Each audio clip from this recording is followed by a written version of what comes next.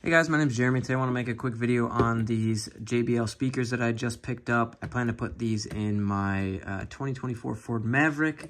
Uh, these are supposedly a bit of an upgrade for it uh, on the audio system that's a bit lacking in my opinion. So these are going in the front doors. Just wanted to show you what they look like here um, outside of the door before I put them in. Um, there's that. They do come with installation rings here, as well as they come with the uh, grill cover right here. Like this, if you want to put that on. Um, I'm probably going to leave that off just because it's going to be tucked behind the door panel anyways, but uh, let's go ahead and get these installed and we'll see how they sound. So to get the door panel off, 2024 Ford Maverick, uh, a couple things. There's one screw here with a little plate that covers it goes in there. So they have to pry the plate off, get the screw there. The window switches have to come out. You pull them up from the back here and forward. There is two bolts under there. You have a little cover here. Mine was red, like this little light thing goes in here. Pop that out. You have one screw under there.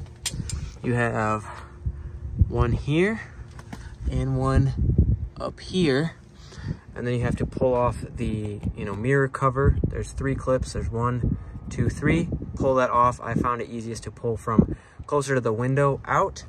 And then that is it. You just have clips all the way around the door that you need to slowly work out and it will come off so now with the door panel off the speaker would be right here there's three bolts that hold it in um, and then i have the new speaker here you will need these mounts as well as these harness plugs to install the new speaker um, I'll have everything linked down below for this, but um, you do need some accessories just to make it fit. Not a big deal, but I'm gonna go ahead and get these installed and we'll check them out. All right, I got everything back together, went back together perfectly, fits really nice. Uh, sound quality wise, um, quite a bit better in my opinion. It's got a lot more uh, mid-range sound, doesn't sound as like tinny and I guess just cheap sounding.